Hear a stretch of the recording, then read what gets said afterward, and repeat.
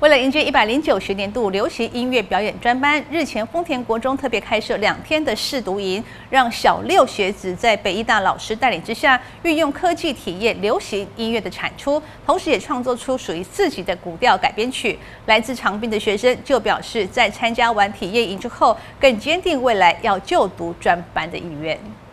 丰田国中自一百零九学年起将招收对流行音乐表演课程有兴趣的小六生，为让学生及早认识专班内容，于十八号起一连两天办理试读音，携手北医大师培中心与 Impact 流行音乐产业学成师资，让二十多名孩子体验录音、编曲创作、乐器体验等流行音乐的产出过程。我想两天一夜这样所谓的营队活动，对于中学生的孩子，我觉得绝大部分来讲，其实是一种体验。跟过去有一个很大的不同是，过去我们不管，比如说你看 DVD，你听 CD，你你做的事情是拥有它，但是你现在可能是上 Netflix，上呃 Spotify 或 KKBox，你是体验它，你不一定要拥有它，把它放在电脑里或家里。所以我觉得这两天一夜的活动有很重要的一个感觉是体验，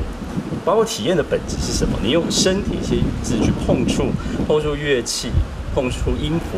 碰触创作，四组学生于十九号下午进行成果发表会，现场播放学生以数位软体将古调改编后的新曲。学生同时以现场演出的方式，亲自弹奏乐器，呈现出第二种创作。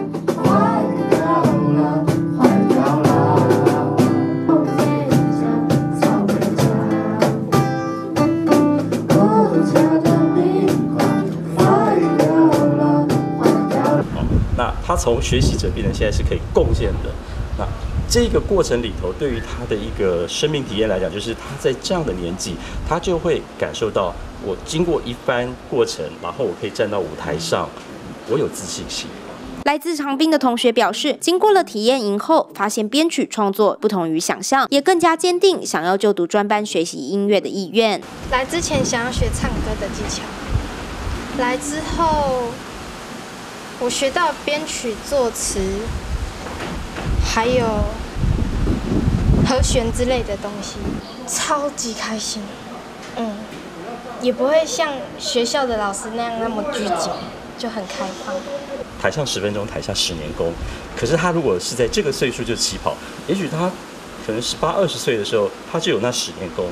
他就变成是我们这一个世界的站在那个舞台中间的人。我们应该要很期待这个事情的发生。丰田国中指出，期盼透过两天一系列的活动，让孩子体验未来专班的相关课程，协助孩子开启对流行音乐的认识。欢迎对专班有兴趣的民众查询丰田国中。记者张碧任台东市报道。